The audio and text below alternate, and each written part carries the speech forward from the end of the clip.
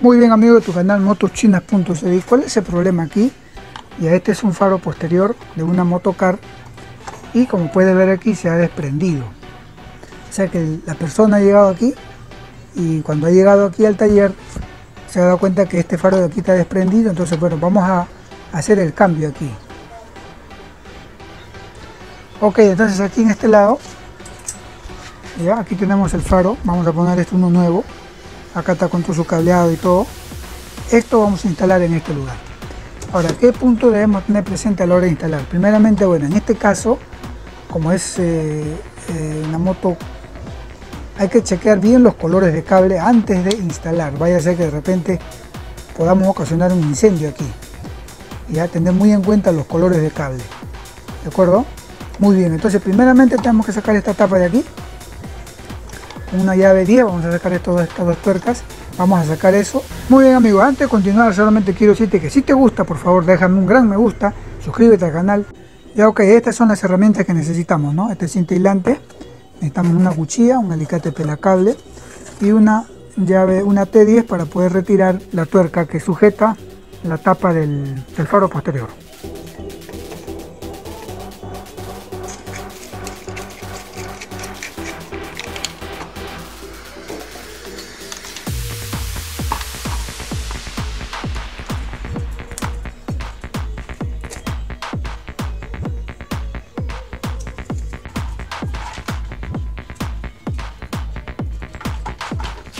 Ahora, para no hacer cortes innecesarios, tenemos que buscar dónde, están, dónde está la unión.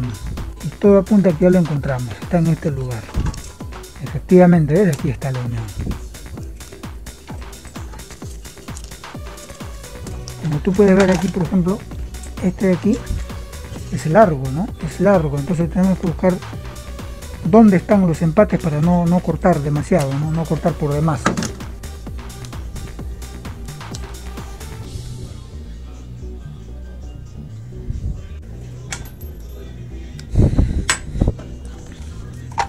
Listo ya lo hemos liberado y ahora vamos a proceder a poner el nuevo.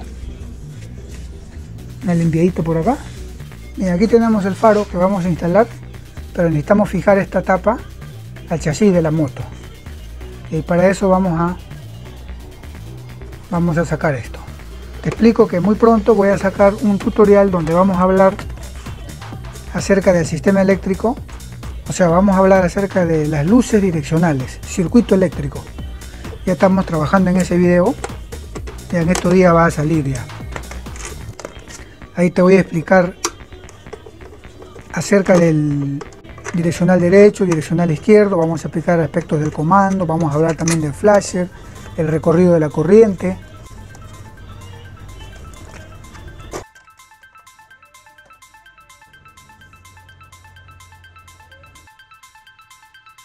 Esto, esto tenemos que fijar al chasis de la moto. Una vez que ya fijamos la base, vamos a hacer la instalación ahora sí. Vamos a hacer la instalación del cableado.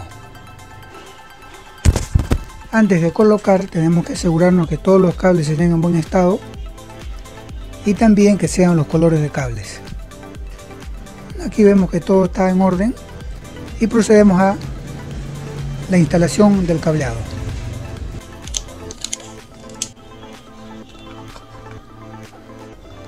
Nos aseguramos que esto esté bien colocado, ¿ya? el foquito todo como debe ser.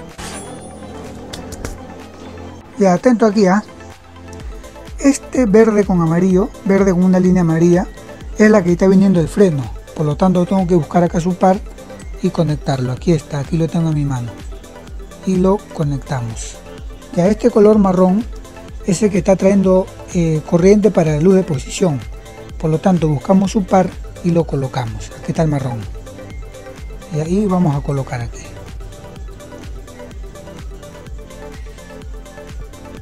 Correcto, listo. Y en este caso tenemos también el tierra, ¿no? que es verde. Este verde que está aquí está distribuyendo tierra para todos los elementos que lo necesitan todos los focos vamos a colocar acá verde con verde correcto y listo entonces aquí simplemente ya tenemos que ver un detalle Ya, este celeste que tú ves es direccional, pero para el lado derecho. Sin embargo, el, el faro que nos han traído no tiene color celeste. Ahora, quiero que te fijes acá. Ya, este de aquí está yendo para el... O sea, aquí en este lado, en este faro, tienes dos focos para direccional. ¿no? Acá tienes uno, que a ver, espero que lo veas. Y aquí tienes uno, fíjate. Y a este, a la hora que prende, prenden en direccional derecho, prende este de aquí y también prende este de acá. También prende este de acá. Estos dos prenden a la vez. Entonces son alimentados por dos cables. ¿Cuáles son esos dos cables? Simplemente aquí tenemos que darnos cuenta, tienes que tener en cuenta que verde es tierra, pero en este caso te estás dando cuenta que el fabricante le ha puesto azul y en el otro lado le ha puesto naranja. ¿Ya?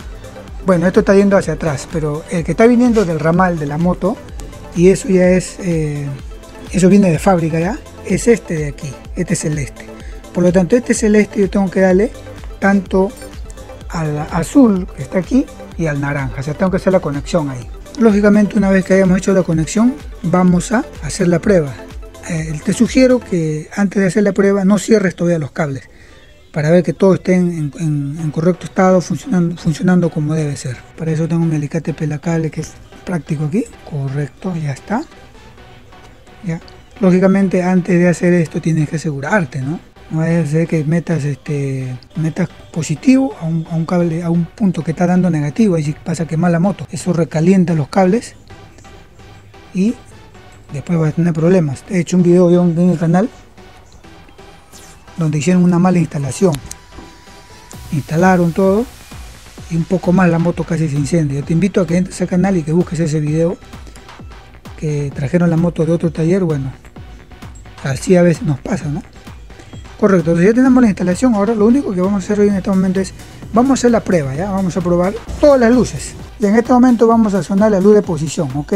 Ya correcto, esto que me está diciendo que la luz de posición está bien, está bien colocado. Ahora vamos a apagar esa luz y vamos a activar el direccional derecho, a ver qué ocurre.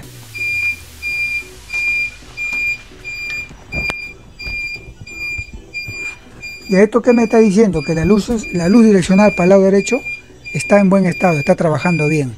¿Qué nos falta ahora? Probar el freno. Vamos a accionar la luz de freno. Ok, ¿qué me está diciendo esto? Que la luz de freno también está bien. Entonces una vez que hemos hecho la verificación y todo, la instalación está correcto, simplemente procedemos a cerrar el ramal.